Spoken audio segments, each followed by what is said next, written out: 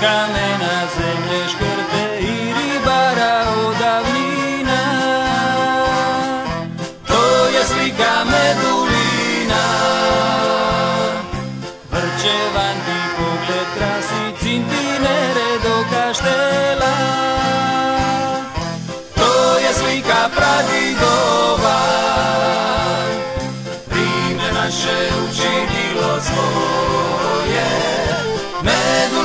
Selo moje i po svitu o tebi govore Cijenjeni gledatelji, dobrodošli u Medulinsku kroniku, u kojoj večeras izdvajamo. Održana 14. sjednica općinskog vijeća općine Medulin. Bili smo na treningu Ronilačkog sportskog kluba Mladost. Maja Čerljenko predstavila novu slikovnicu i Ja sam more. Ema Ivetić i Lejan Osmanović pobjednici su projekta Uzmi šolde i napravi nešto za mlade. Ostanite uz nas. Kako bi povećali transparentnost rada općine, 14. sjednica općinskog vijeća općine Medulin po prvi puta bila je audio i video snimana. Snimke sjednice bit će objavljene na službenim web stranicama kako bi mještani mogli vidjeti o čemu i na koji način se raspravlja na općinskom vijeću. Istaknuo je tako načelnik općine Ivan Kirac. Treba istaknuti da je donesena odluka o kreditnom zaduživanju kod Hrvatske banke za obnovu i razvoj u vezi modernizacije javne rasvjete gdje smo gdje ćemo se zadužiti za 4,5 milijuna kuna po kamatnoj stopi od 0,5% na rok od 8 godina, a to je sve u cilju smanjenja potrošnje električne energije kako bi se smanjilo potrošnje električne energije te da više novaca ostane za ulaganje u komunalnu infrastrukturu i u druge sadržaje. Nakon aktualnog sata vijećnici su donijeli odluku o izmjeni pravilnika o stipendiranju studenata temeljem kojeg je smanjeno bodovanje volonterskog rada, kako se ne bi dogodilo da ukupno ostvareni bodovi za volonterski rad prevagnu ukupno ostvarenim bodovima za ostvareni uspjeh te u ostalim kriterijima. Donijeta je i prva izmjena odluke o sufinanciranju predškolskih ustanova, sukladno kojoj je utvrđena cijena za redovite programe obogaćene talijanskim jezikom u iznosu od 650 kuna za redoviti 10-satni program, odnosno 342 kune za redoviti 6-satni program. Isto tako odlučeno je da se tijekom srpnja i kolovoza neće plaćati dodatak za obogaćeni program, obzirom da se tijekom ljetnog rada obogaćeni programi ne provode punim intenzitetom. Odlukom je definirano da u slučaju odsutnosti djeteta iz vrtića zbog korištenja godišnjih odmora pravo na mjesečnu subvenciju umanjenu za 50% ostvaruje jedino roditelj korisnik usluge redovitog cjelodnevnog desetosatnog programa. Vijećnici su prihvatili i izvješće o donošenju odluke o usvajanju polugodišnjeg izvještaja o izvršenju proračuna općine Medulin za 2022. godinu, obzirom da je iz prezentacije vidljivo da su svi prihodi i rashodi realiziraju planiranom dinamikom.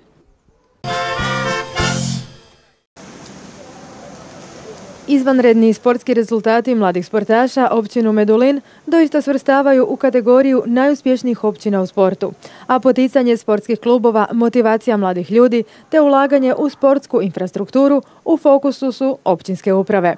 Tim povodom načelnik općine Medulina Ivan Kiraz primio je članove Ronilačko sportskog kluba Mladost iz Medulina, koji su na nedavnom europskom prvenstvu ostvarili još jednu u nizu izvrsnih rezultata.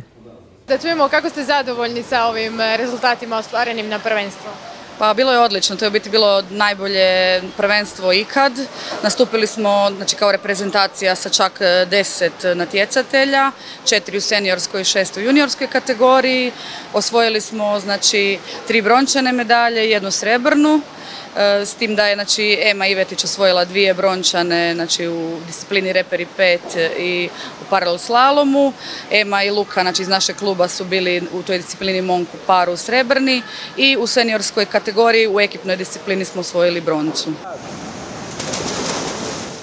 Ema Ivetić i Luka Bohać istaknuli su kako im je na europskom prvenstvu u prilog išla i dobra vidljivost te lijepo vrijeme. A iako su imali gotovo upola manje vremena za vježbanje od ostalih natjecatelja, uspjeli su izboriti odlične rezultate. Europsko prvenstvo je bilo u Gjekenješu u Mađarskoj i juniorsko i seniorsko. Ja sam u juniorskom Monku, to je disciplina gdje ja moram računati pod vodom i sa svojim partnerom Lukom Bohaćem tražiti te orijentire pod vodom. onda na tom smo došli drugi. A, još sam na reperima, to je disciplina gdje moram naći pet repera u vodi, to su kao stupovi ovakve debljine i onda mi to tražimo pomoću kompasa i tako plivamo sve od 600 do 800 metara su te discipline. To sam došla treća i na paralel slalom sam došla treća. To je disciplina gdje obiđemo jednu bovu, nađemo jedan reper i plivamo u cilj koji je velik 2-3 metra i moramo proći kroz njega. I još smo na ekipnoj uz kolegicu Iris Despotović, Levojki Čupev i Sašu Miloš smo došle treće na ekipnoj. To je kao u seniorskoj konkurenciji, ovo ostalo mi je u juniorskoj. Na natjecanja idemo da pokažemo koliko smo se trudili tijekom godine i da vidimo koliko smo napredovali. Istaknula je tako i Vetić. Kako smo napredovali, ako smo napredovali, ako ne, da vidimo gdje su ti kiksovi koji su se dogodili pa da i poradimo na njima.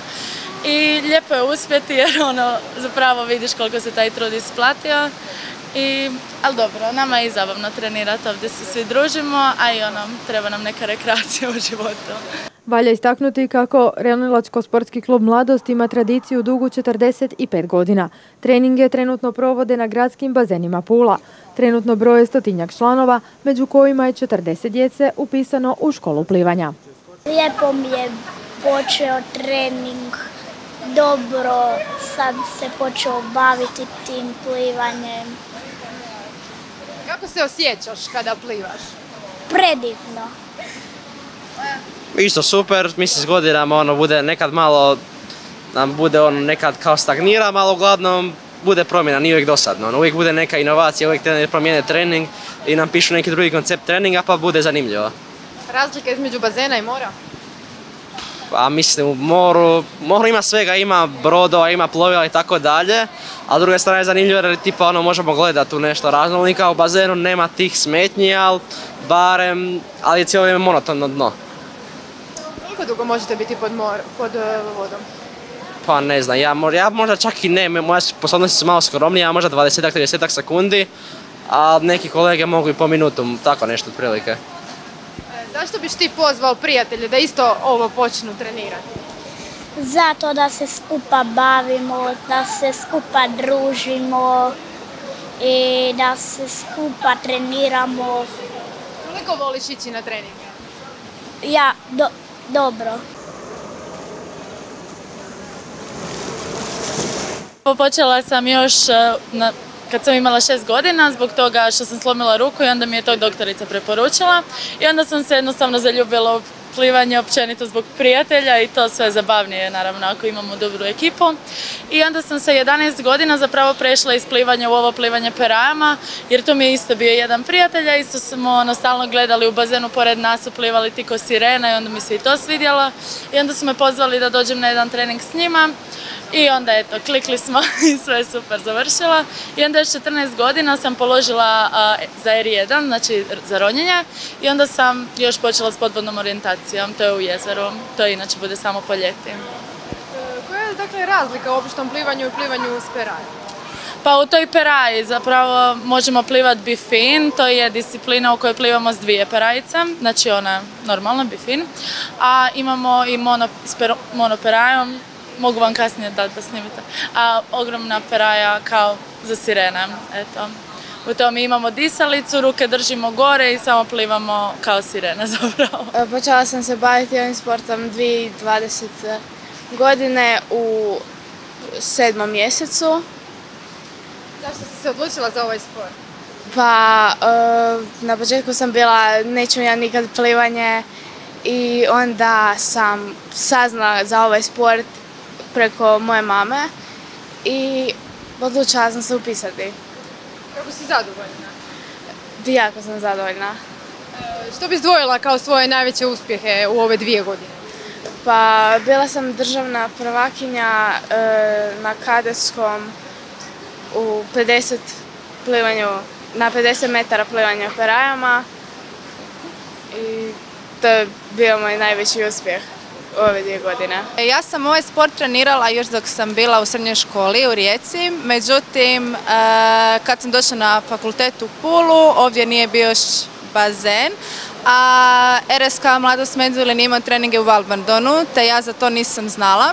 Tek kada se otvorio bazen, došla sam ovdje plivati za građanstvo, vidjela da se pliva s perajama, javila se trenerici Lej i tako sam se pridružila klubu. Osjećaš dok e, plivaš s perajama i dok A, odlično. E, moj mozak e, odmara dok se tijelo umara, doslovno. Uživam. Super je osjećaj. Svatko tko voli plivanje, vodu i osjećaj umora nakon treninga, mislim da bi se dobro snašao u ovom sportu. Istaknula je tako Pavlović i dodala. Jako je dobro za svu mišićnu skupinu tijela i atmosfera kluba je atmosfera u klubu je odlična i a ne znam, dođite i probajte. E, što biste kazali kako imate uvjete za rad? Pa uvjeti od kad je bazen su daleko, daleko bolji. Nekad smo trenirali znači, u hotelu Belvedere, u Rovinju, u Dugoj uvali, u Valbandonu, ono, kombinirali smo sve moguće treninge i bilo je dosta teško, ali sada bar imamo nekakvu bazu za treninge gdje možemo svaki dan trenirati. E, po čemu biste kazali da se razlikujete od, od uobičajenih e, plivačkih klubova? Pa naši treninzi, znači naša škola plivanja počinje kao i plivanje, znači ono učenje svih tehnika, plivanja, sve to. A kasnije krećemo znači, s malim perajicama, učenje disanja na tu posebnu disalicu i s monoperajom. Pa dosta je raznovrsnije jer kod nas postoji malo više sportova znači, u tom ronilačkom sportu. Znači kreće se od plivanja perajama, zatim je tu podvodna orijentacija, daljinsko plivanje perajama. Također e, postoje sportovi još koji se mi trenutno ne bavimo, to su apnea ili ronjenje na dah, e, podvodni hokej i tako. Koliko zapravo to sve opasno? Pa nije opasno ako se držimo pravila i svega, nije opasno. Evo možda za kraj zašto biste pozvali ostale i tko vam se sve može priključiti? Znači mogu nam se priključiti djeca od najranije dobi od četvrte godine života u školu plivanja. pozvala bi zato što je jako zanimljivo, naš sport je jako zanimljiv. Ja sam znači, trenirala i plivanje i ronilački sport i nekako sam se više opredijelila za ovo jer mi je baš zanimljivo. Hvala vam puno i puno daljih sreće. Hvala vama.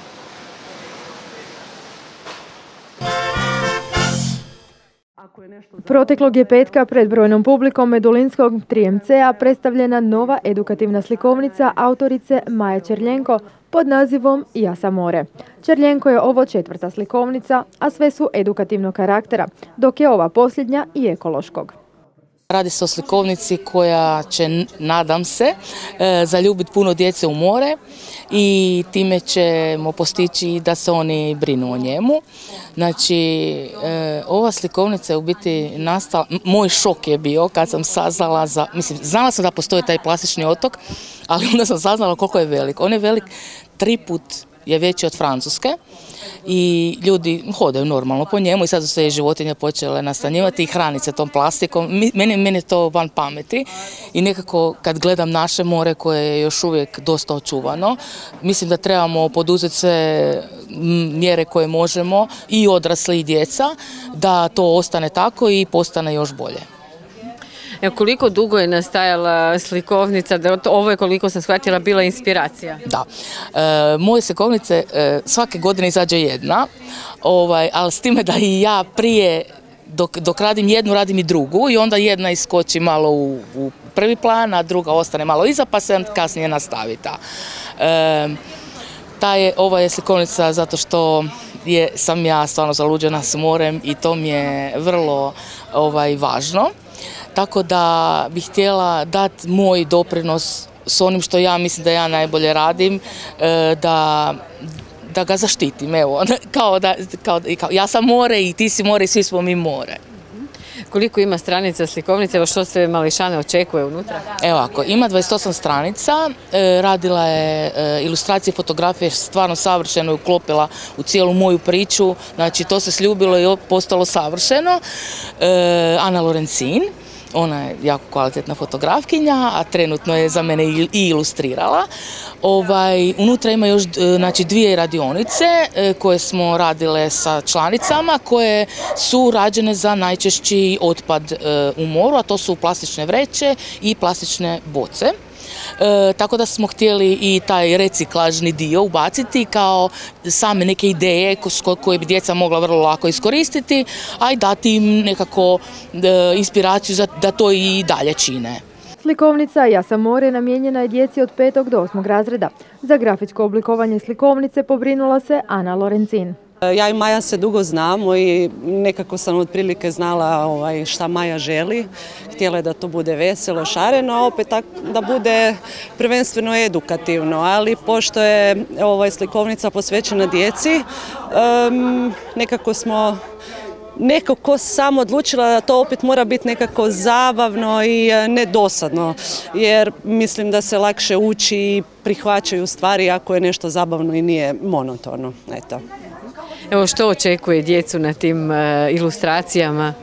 E, pa u biti interesantno je to što su u biti meni bila inspiracija djeca mojih prijatelja, tako da su neki likovi u biti i stvarni likovi koji postoje u stvarnom životu i e, mogu vidjeti nekako na zabavan način šta se događa na moru, kakve su anegdote i na kraju krajeva sebe vidjeti u svemu tome.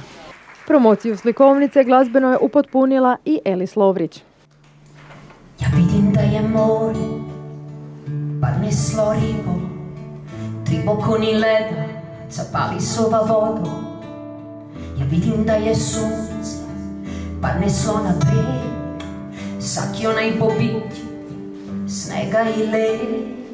Ja vidim da je more, kako je bilo vajkama,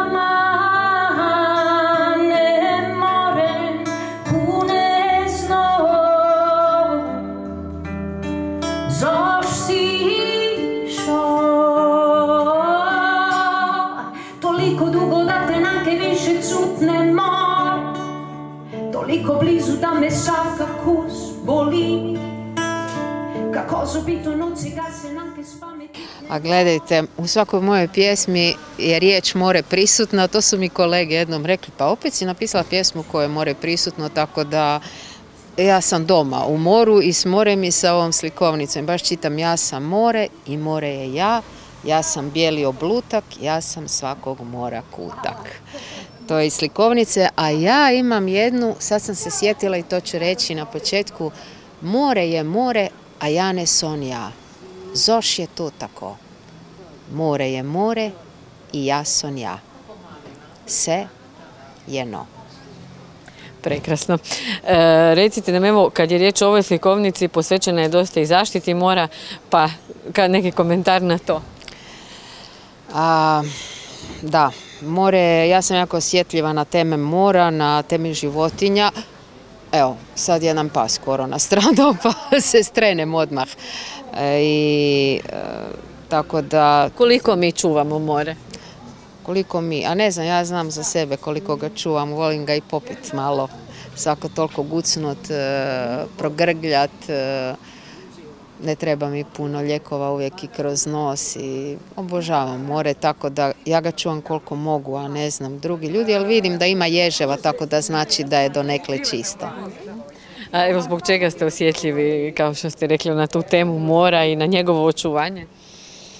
Ja sam rođena na moru i s morem i e, u Rapcu, znači sa svih trampolina sam skakala, ronila, i ne znam, more je stvarno više prisutno nego što sam ja mislila u mom životu i u svakoj mojoj pjesmi, tako da ne da se ni objasniti. To je ono ko kad pitate zašto vam je neko drag ili zašto nešto volite. U okviru prezentacije slikovnice održana je modna revija s nakitom Maje Čerljenko kojeg su nosile polske novinarke koje su tom prilikom čitale dijelove iz knjige.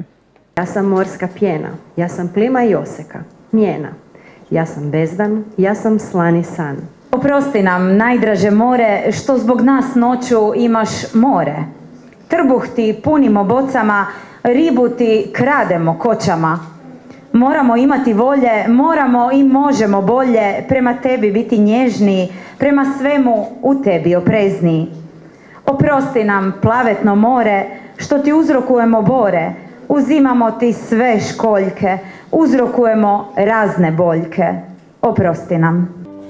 Ca mi gonaš dio, kune te kap I ca mi imaš red, ne znam te cud Toliko mi beseda pride, ma ja ne znam i pravit Toliko mi zarompa srce, kako da će puknuti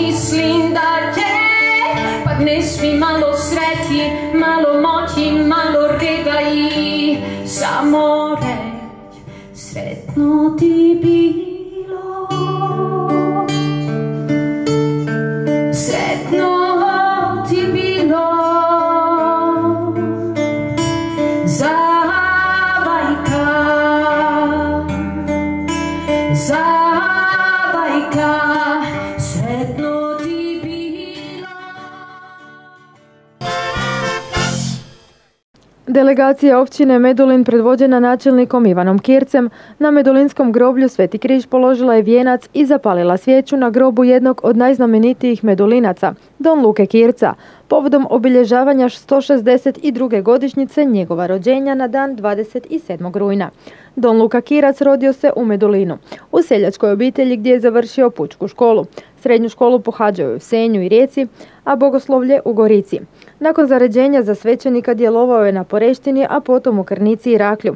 U Barbanu je 8 godina bio župnikom do 1895. godine. Ondje se počeo zanimati za povijest Hrvata svoga kraja. Poslije Barbana bio je župnik u Ližnjanu te poslije toga u Medulinu. Na izborima 1908. izabran je za zastupnika u Pokrajinskom saboru i to dok je bio župnik u rodnom Medulinu. Kao zastupnik iskazao je brigu za siromašne i bolesne koji su umirali diljem Istre, a s kojima se nehumano postupalo. U narodu je ostao upamćen kao darežljiv čovjek koji je besplatno držao mise siromasima, pomogao savjetom, novcem i dobrom riječi. U rodnom Medulinu pokopan je 6. siječnja 1931. A sam ukop bio je veliki događaj na kojem se okupio veliki broj ljudi ne samo iz Medulina nego i drugih krajeva Istre koji su došli na posljednji oproštaj voljenog mještanina svećenika. Njegov sprovod fašističke vlasti shvatile su kao provokaciju.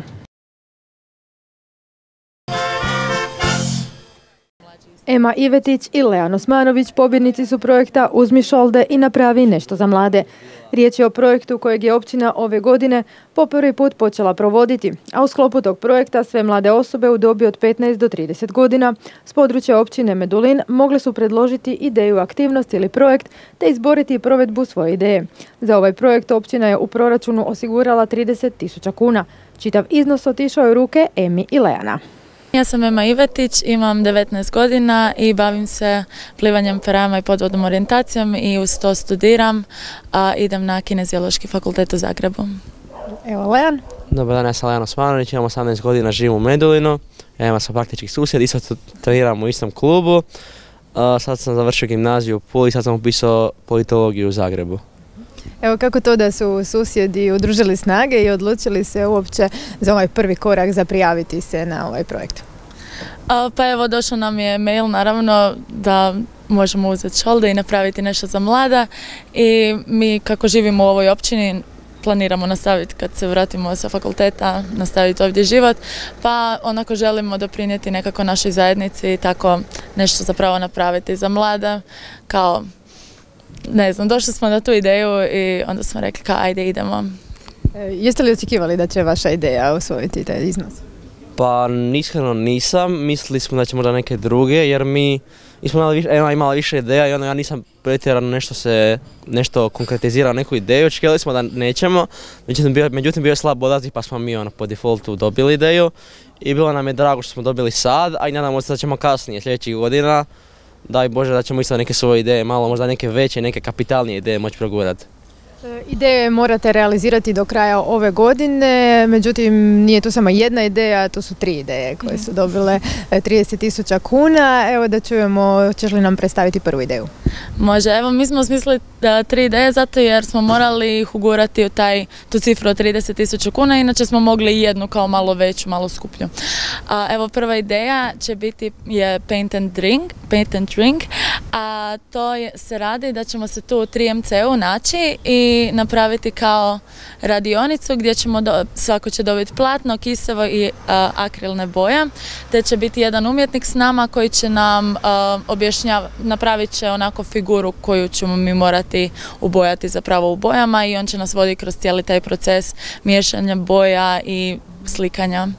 Ko će sve moći se odazvati na pa evo najpoželjnije bi bilo da osobe između 15 i 30 godina, te mlade osobe općine Medulina, ali naravno ako ne bude dobar odaziv mogu i mlađi i stariji doći. E, evo Lejan, da čujemo tebe drugu ideju. Znači druga ideja nam je bila pomozi prijatelju u nevolji. Uglavnom plan je znači da bude svojevrsni tečaj prve pomoći uz znači prezentaciju korištenja defibrilatora i također nam je bio cilj nekako ubaciti radionicu o mentalnom zdravlju, nekako smanjivanju stresa, borbi sa stresom, kako bi ljudi možda u današnje vrijeme koji su ono pre nekakvim izazovima se mogli lakše snalaziti, da se fokusiramo nekako na komplet nekakav način kako se možemo pomoći međusobno i da razvijemo neke osobine poput suradnje, solidarnosti, empatije i tako dalje. Jako lijepo. I posljednja ideja? A, projekcija crtića i filma na Medulinsko, tamo kod Malina na Jedra, a, znači na Rivi. htjeli bismo u, na adventu, znači između Božića i Nove godine, u tom tjednu će negdje biti projekcija. A prvo će biti crtić oko sedam na večer, recimo za dječicu više i onda kasnije neki film. Vjerojatno će biti nešto u božićnom duhu, pošto je to taj period. I znači dovešćemo veliko platno kod malina, tako da će biti lijep ugođaj i postaviti ispred stolice, klupe i tako. Da se malo i podružimo i moći će se popiti, pojest nešto i tako. Evo, kako ste zapravo zadovoljni što ste uopće ovako mladi, što vam je općina pružila e, priliku da se vaše ideje i ostvare?